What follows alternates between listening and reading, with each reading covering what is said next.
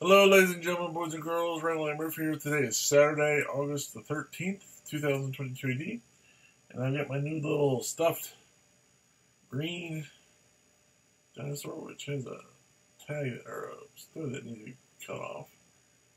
he's kind of cute, kind of adorable, very soft.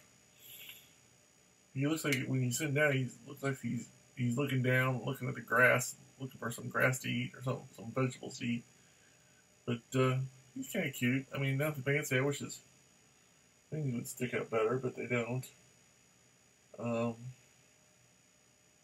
so they kind of, they kind of, sort of, and uh, it's not. I mean, it's nothing fancy. It's, it's not really, like I said, not the best, best one out there by a long shot. But it's nice and soft and cute. A little kid will love it.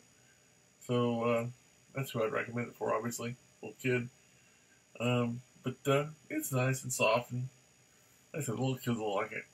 Um, I've seen ones made a lot better, obviously, both from a standpoint of uh, just better made and uh, better material, but overall it's not bad. Like I said, little kids are gonna love it. So until next time, I'm Ruth saying thanks for watching. Have a good day. God bless.